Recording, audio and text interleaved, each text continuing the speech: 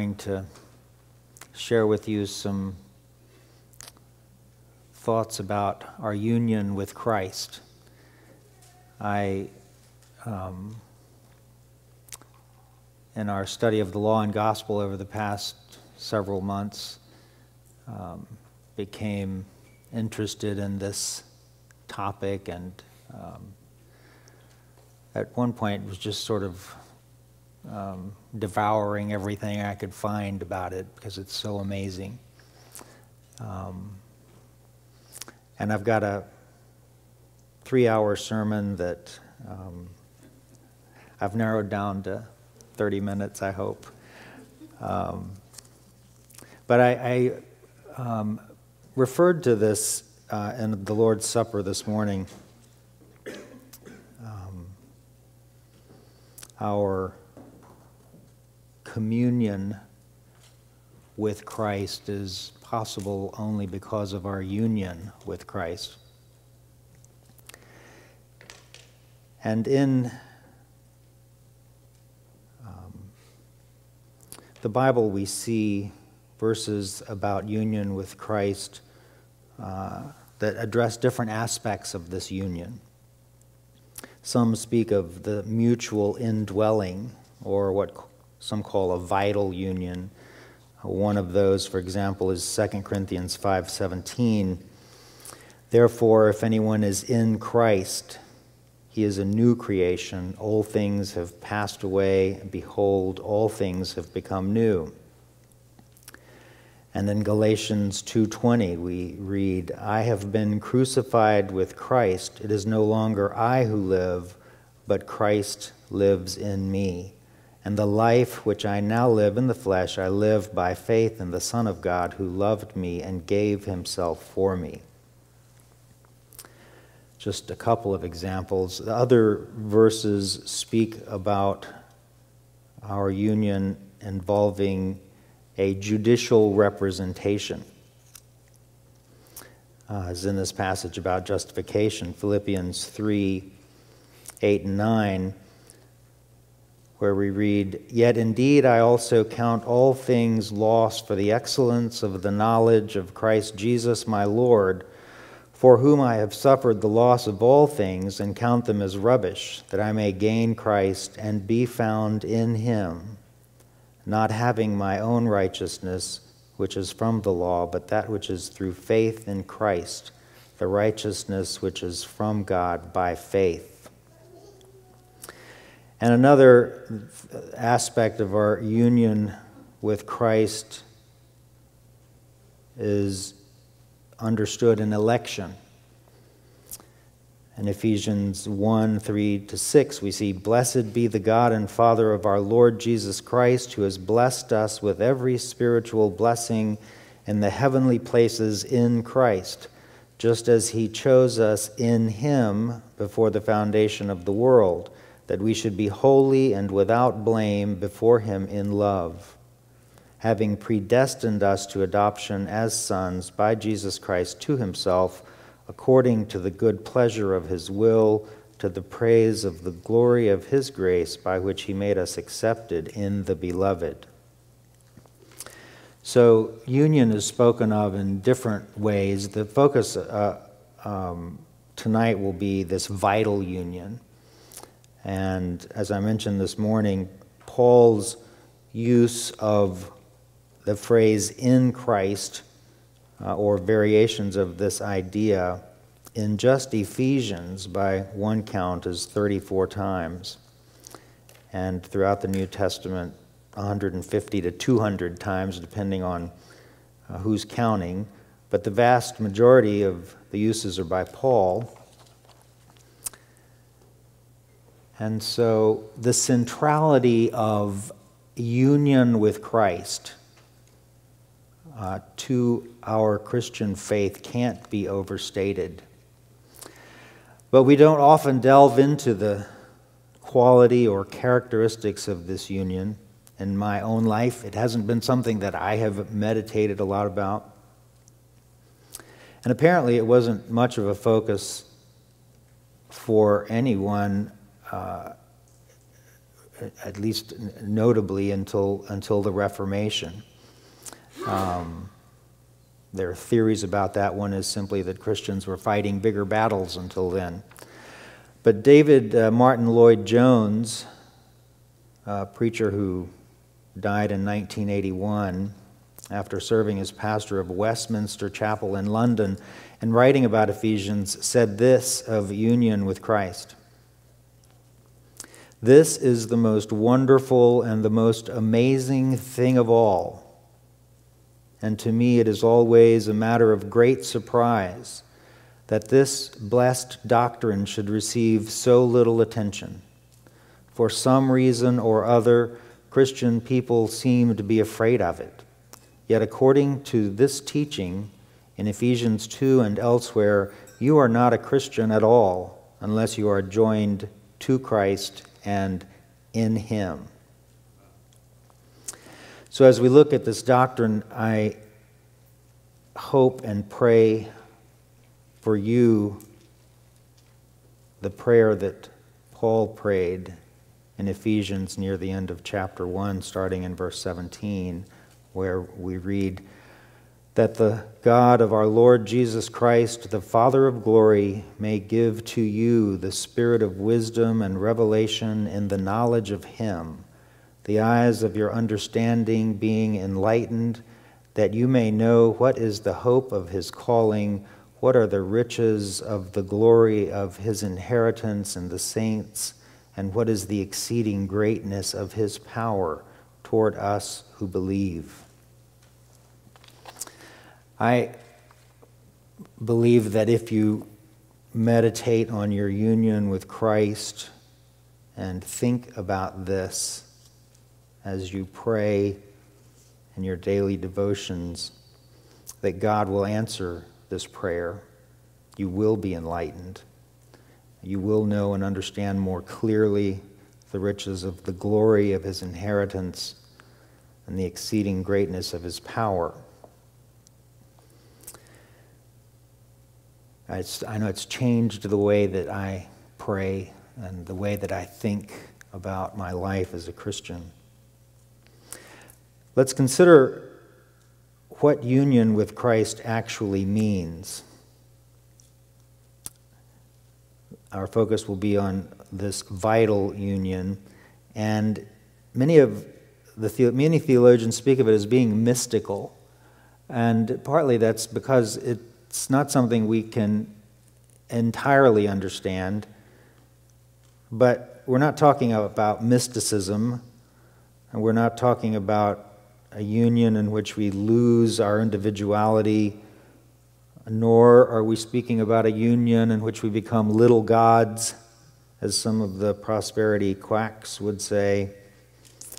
Nor are we becoming somehow divine in and of ourselves false teachers have over the centuries posited these sorts of things to mislead and exploit unsuspecting people. What we're speaking about is what Peter described as being a partaker in the divine nature. This morning, and, when we talked about the Lord's Supper, um, and in thinking about this vital union, um, we read a section of John 14 and John 17, and um, I want to go there again. Um, the repetition will be good for you. So turn with me, if you would, to John 14, and let's read how Christ described uh, this vital union or this indwelling when he was speaking to the disciples. John 14, 19 to 23. A little while longer, and the world will see me no more, but you will see me. Because I live, you will live also. At that day, you will know that I am in my Father, and you in me, and I in you. He who has my commandments and keeps them, it is he who loves me, and he who loves me will be loved by my Father, and I will love him and manifest myself to him. I want to stop there just to go on a little aside. This verse 21 I will manifest myself to him. Um, you know, sometimes when you're reading scripture and for some reason something will just uh, get your attention in a way that it hasn't before, even though you've read those things in the past. But this happened with me in that particular um, expression I will manifest myself to him. Matthew Henry helped understand that when he said, This is powerful influences of divine graces and comforts upon the souls of those that love Christ in sincerity. Powerful influences of divine graces and comforts. We have that when we have vital union with Christ. And it's, it is deeply experiential. I know that can be a dangerous word. We don't base our faith on our experiences, but for the, the Christian who is vitally united to Christ, it produces in you a love for God that causes you to delight in obedience to God. And it manifests itself in fruits of the Spirit that are evident in our own lives, not only to ourselves as we see the grace of God working in us, but, but to others. But I came to this passage because it speaks of this indwelling, the indwelling of not only of the Spirit, but of the Son and the Father. Um, if you continue in verse 23, you see that it says, Jesus answered and said to him, If anyone loves me, he will keep my word, and my Father will love him, and we will come to him and make our home with him.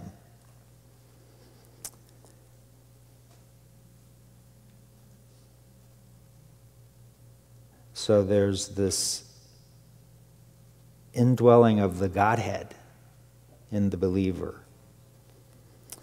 Look at John 17 and verses 20 to 23, where Christ is praying to God the Father.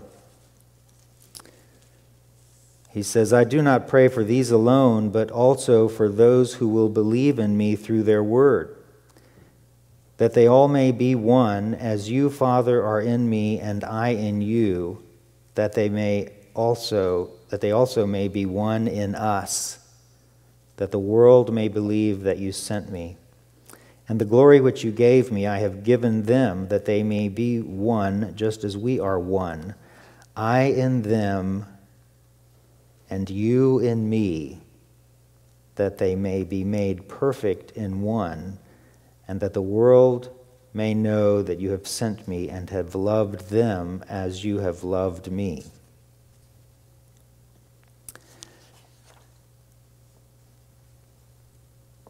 It's uh, just amazing. Within the Godhead, we know that this union is perfect. And it is revealed in these passages. And there's a connection between the mutual indwelling of um, Christ and believers, you in me and I in you, from John 14 to the disciples, and in John 17, I in them and you in me to God the Father. There's this one union of the Godhead presented next to and immediately beside Christ in us and us in Christ. And this speaks to the uh, our creation, how we were created. We were, we were created in the image of God.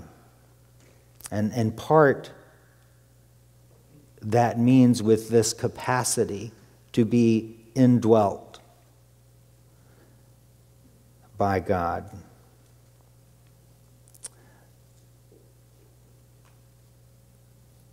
this, uh, this one theologian, Scott Horrell, put it this way When reconciled with God, man and woman are infused with his personal presence. In some sense, the capacity of each person of the Godhead to be indwelt by the other while remaining fully an individual is reflected in man as created in the image of God.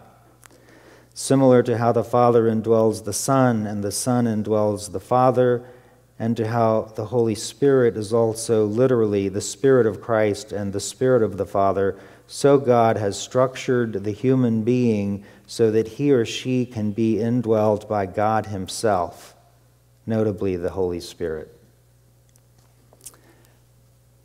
I, I, when, when I think about union with Christ in this way and, and the, that our, the way that we are constituted and the, the capacity that we have as having been created in the image of God, it, it just informs um, our relationship with God, our union with God.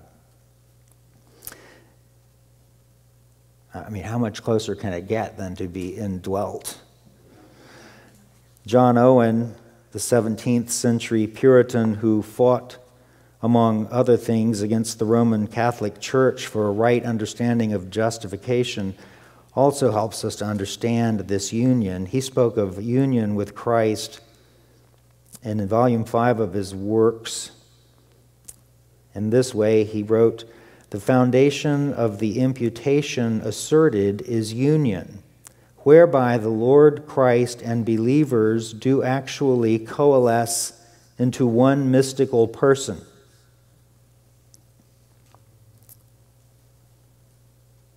we understand the word coalesce to mean to come together to form one whole. Its usage when Owen first wrote these words was more specifically to grow together, uh, as in becoming one. And so we cannot say that the union of the Godhead is the same or equal to the union of Christ and the believer. They're not the same. But there is a similitude, there is a shared quality between these two unions. John Owen died in, 18, in 1683. About a century earlier, John Calvin wrote about our union with Christ, and from what I can tell, his approach to understanding and describing the union of believers to Christ had more to do with the hypostatic union. God Christ as fully God and fully man. We certainly know that this is the teaching of Scripture. Any who deny it are condemned, but the union of God and man in Christ informs in many ways our understanding of a believer's union with Christ. Calvin said, It was necessary for the Son of God to become for us Emmanuel in such a way that his divinity and our human nature might by mutual connection grow together. In other words, no human connection to God, no union, vital or representative, would have been possible if God in Christ had not taken on the nature of man. By becoming a man, Christ made possible a union that underlies all of salvation regeneration, justification, sanctification, and glorification. The mystery of this union, Christ being fully God and fully man in one person, helps us understand our own union as men in the flesh with God in Christ they're comparable. They're not the same, but they help us to understand. And in an essay that A.W. Pink wrote about this subject, he died in 1952. He pointed also to the hypostatic union as grounds for understanding the believer's union with Christ. He said, There are three principal unions revealed in the Scriptures that are the chief mysteries and form the foundation of our most holy faith. First, the union of three divine persons in one Godhead, having distinct personalities, being, being co eternal and co glorious, yet constituting one Jehovah. Second, the union of the divine and human natures in one person, Jesus Christ, Emmanuel, being God and man. Third, the union of the church to Christ, he being the head, they being the members, constituting one mystical body.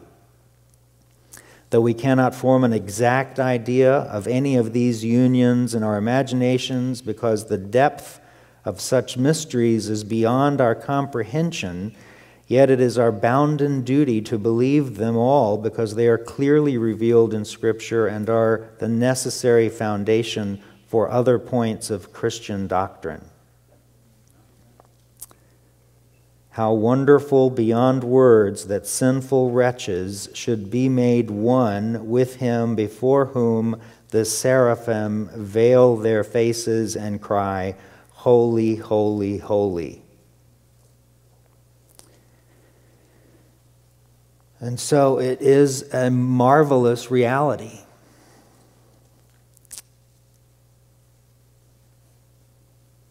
Understanding it is, I think, a lifelong pursuit. Some other great thinkers who have gone before us have written beautifully about this.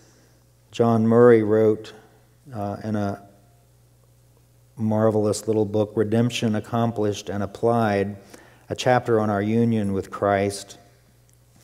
And he, like others, references other kinds of union to which our union with Christ is compared, the union of marriage, for example. But he says something like what Pink said The greatest mystery, this is Murray. The greatest mystery of being is the mystery of the Trinity, three persons in one God. The great mystery of godliness is the mystery of the incarnation, that the Son of Man, that the Son of God became man and was manifest in the flesh. But the greatest mystery of creaturely relations is the union of the people of God with Christ and the mystery of it is attested by nothing more than this it is compared to the union that exists between the Father and the Son in the unity of the Godhead.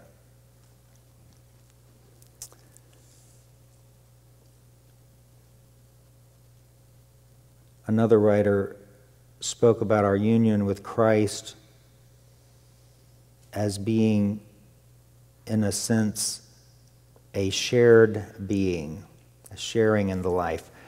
It, he said, and the, con, the context of, of this essay was regeneration. He said, though in ourselves by nature we were spiritually dead in sin, at a certain point in time, God caused us to share the life of Christ.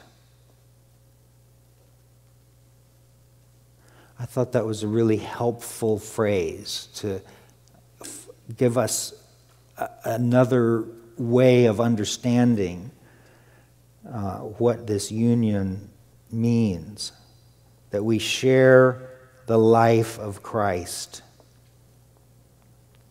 And thus to become, he said, spiritually alive. In other words, regeneration occurs when we are, for the first time, savingly united with Christ. There's another aspect of our union with Christ that will help you understand the marvel of this reality. And it's not something that I had thought a lot about, frankly, until I began studying this subject and it is this Christ ascended into heaven in bodily form. He is still a man. there is a human being in heaven. He has connected humanity to the Godhead. One writer put it this way Christ has forever taken into the Godhead the form of manhood, a permanent physical body that sits quite literally at the right hand of God the Father. Remember Acts 1, starting in verse 9. Now, when he had spoken these things, and while they watched, he was taken up, and a cloud received him out of their sight.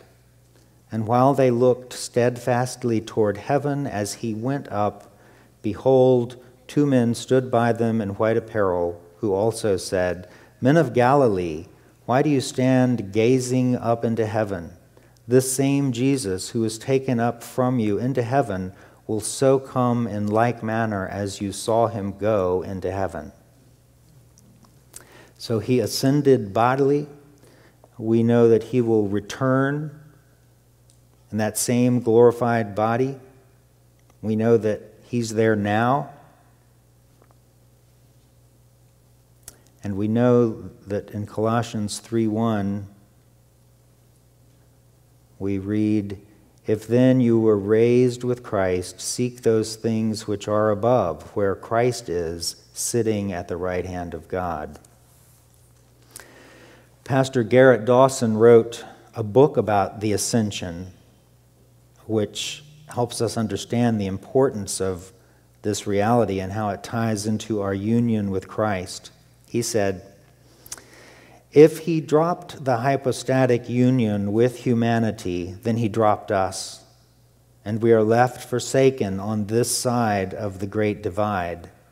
Thankfully, an orthodox view of the ascension safeguards our understanding of Christ's continuing incarnation. The incarnation continues, and so we are included in the life of God. That is the essential meaning of the ascension.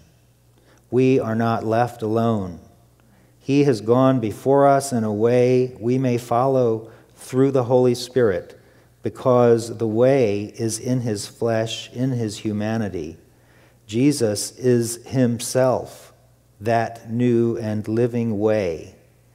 The fully human one has gone within the veil in our name and even in our skin united to him by the Spirit, to the one who remains united to us, we may follow where he has gone.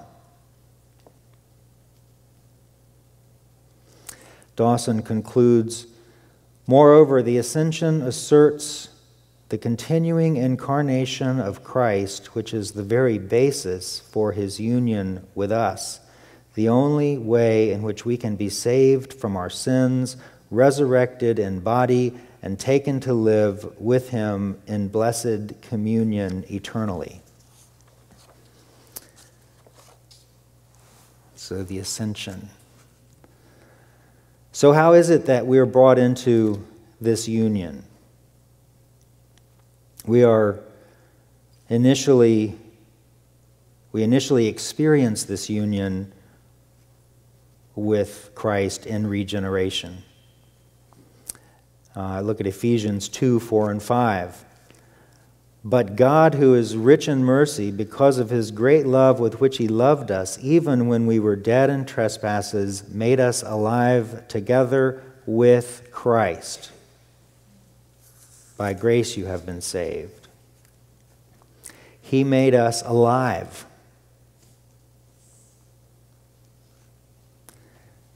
This means we were dead. And how did he do it? Together with Christ or in union with Christ.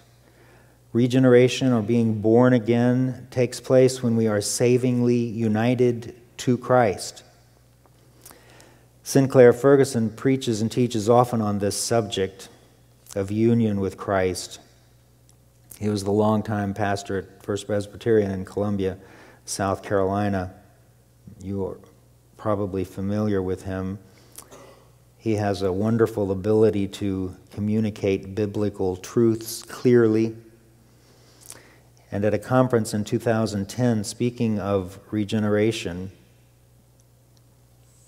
and specifically of 2 Corinthians 5:17, Ferguson said this, being united to Jesus is the doorway of a whole different order of existence altogether.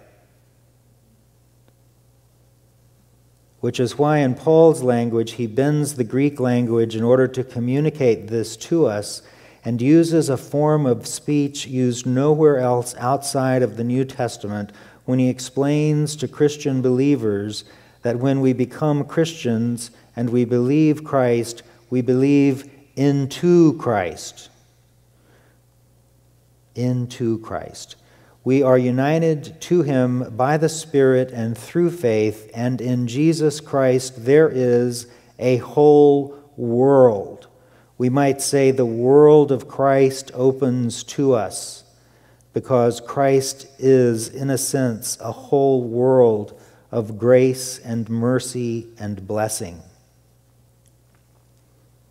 So we initially experience this union and regeneration, but we appropriate it and continue to live out this union through faith.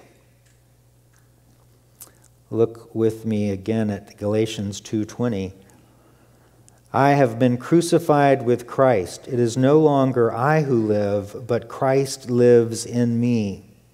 And the life which I now live in the flesh, I live by faith in the Son of God who loved me and gave himself for me. Christ dwells in him, has regenerated him, and has caused him to repent and believe the gospel. in this regeneration, uh, he has caused any who have been blessed in this way to see themselves the way that God sees them, to see their sin, to see their need for a Savior, to see the amazing grace of Christ. William Cunningham wrote stirringly of the place of faith. He was a Scottish theologian who died in 1861, and he said,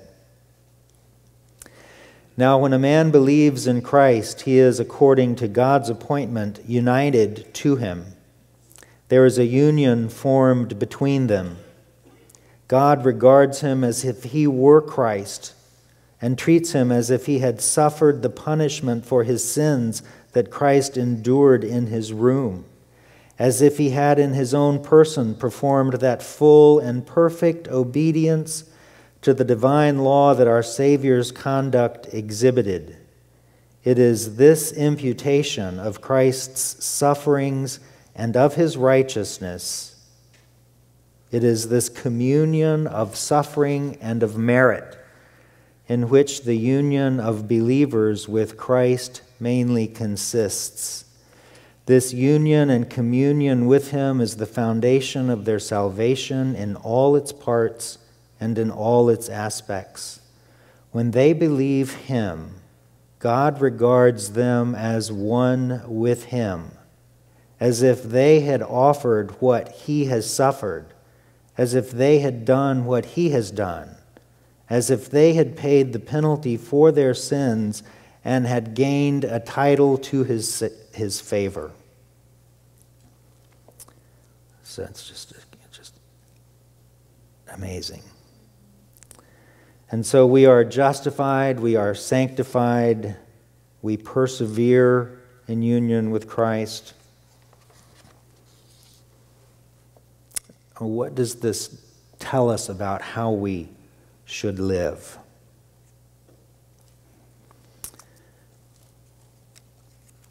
I think partly it's understanding where you are in the process of this union. You're in this little window of time in which, if you are converted, you possess an ability to obey by the Spirit, as well as an ability to disobey God. Thomas Boston, in his classic work, Human Nature in its Fourfold State, states, describes this life of, of the Christian as the third of four states. And I want to just review with you what those are and how he explains them. The first state, the state of innocence, in that state we are were well Adam was able to sin and able not to sin. Before the fall, he was created in the image of God with a constitution that reflected the holiness of God. He was created with an innate ability to obey, but not created in such a way that he was immutably so. He was able to sin, and he, and he eventually did. The second state, Boston calls the state of nature. And in that state, we are not able not to sin. We are born this way, spiritually dead in sin, slaves to sin, totally depraved. Even in this state, however, the remnants of our original nature remain dimly in our conscience. We know that lying, stealing, adultery, and murder, for example, are wrong our consciences naturally convict us of these things, as we see in Romans 2 14 and 15. The third state is the one in which the Christian lives, the state of grace, able not to sin, regenerated and brought into this mystical union with Christ. But ultimately, we shall be unable to sin.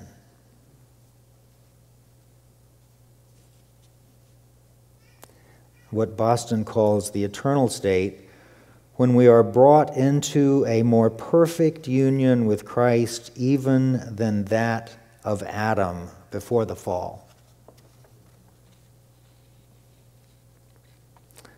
The Christian is marked by a desire and longing to be in that state. No longer locked in a struggle against our old nature. And so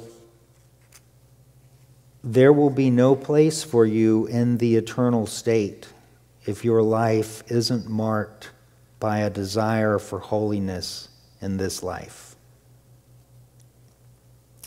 Jonathan Edwards put it this way The beginnings of future things are in this world.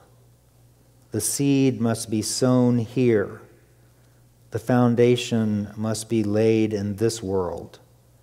If it is not begun here, it will never be begun. The light must dawn in this world, or the sun will never rise in the next. Therefore, all who hope for heaven must seek a heavenly life here on earth. I pray that you are doing that. Let's pray. Father in heaven, we are just amazed at um, the glory of your salvation, the uh, wisdom and power and might that we see in all of it from eternity past to eternity future and are overwhelmed and amazed that you would love us um, even when we were your enemies.